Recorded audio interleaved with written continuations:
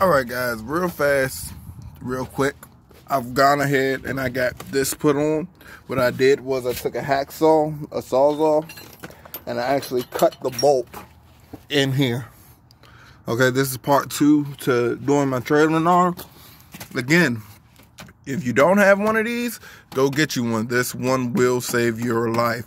I already got the upper trailer arm out. You see, I'm about to put the new one in. And, you know, this one will actually just go right in there.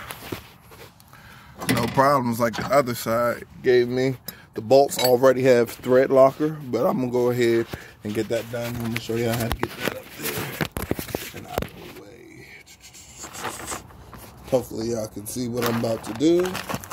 Okay, this piece, trash. You don't need that.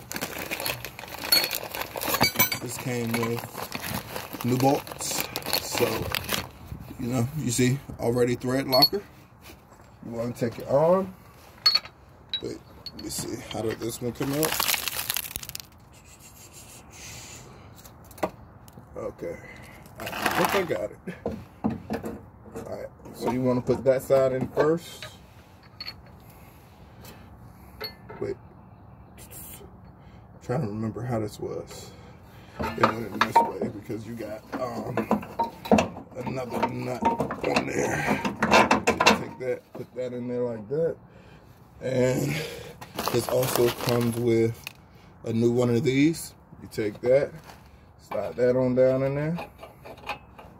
Then you take your bolt, slide that through. And then the rest is pretty much tightening everything down. Oh, and I also want to show y'all this too. You also want to get some grease. I got some grease right here.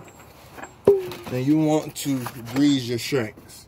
If you don't know what a shank is, I'll show you. This is your shank. This is the part that'll rotate around as the car moves up and down. Okay, so uh, I don't have a plastic glove. Shit. Oh.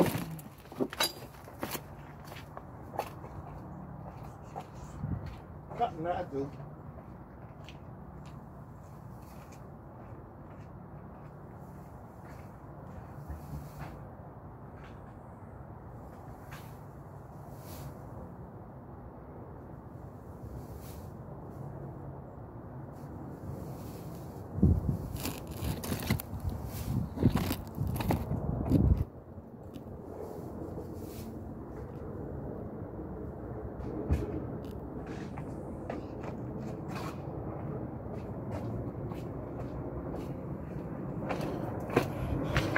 All right, I'm back.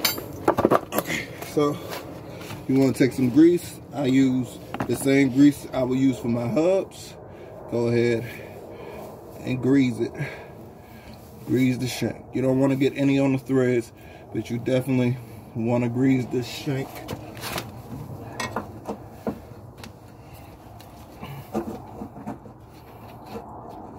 Get that back in.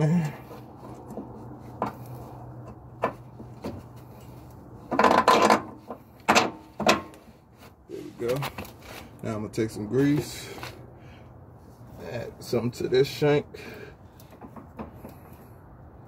You don't want to use too much, but just enough. That way that thing don't seize up. Okay, take this glove off. Now, all we gotta do is tighten down our bolts.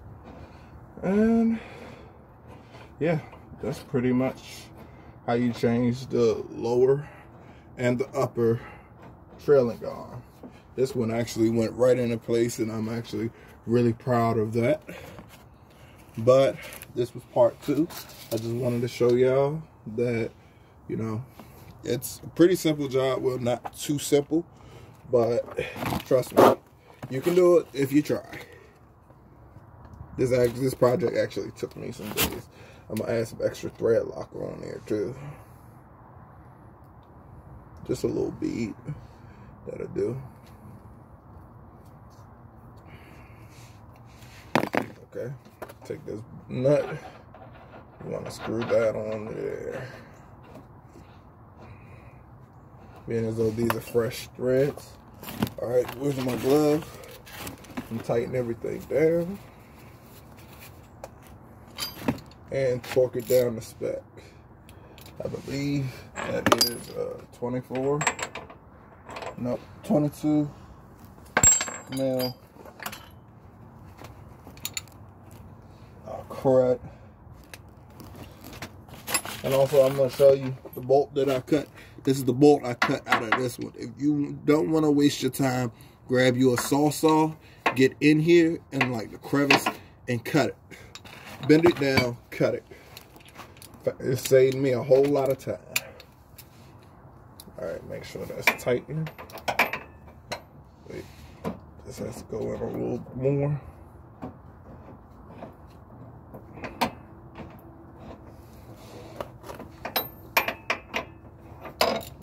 I'm just gonna take the socket, use the socket to kind of thread that in there.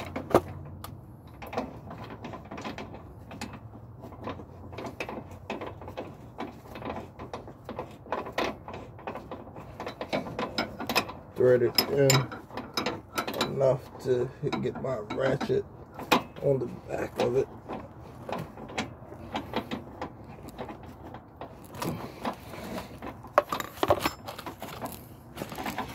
Alright guys, I'm gonna switch over here. I'm not gonna hold y'all up, but that is how you change these control arms. And you're going to, again, you're going to want to get in alignment. Don't be a fool if you change these. Go get yourself an alignment.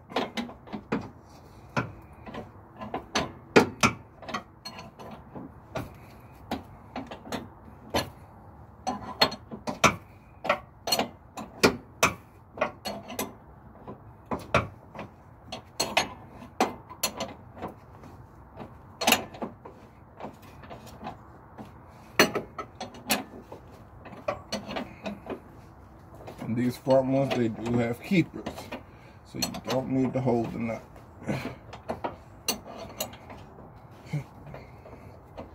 And then pretty much that'll be it. You see new control arms. I'm still gonna replace this because this is pretty old as you see. I'm gonna replace this airbag and I'm not gonna waste any more of your time. Thank you for tuning in. And remember, if you need any advice for a car, my videos will help. And trailing arms aren't no joke. I'm going to tell you that now. Y'all be blessed and stay safe. This is OJ's Automotive signing out.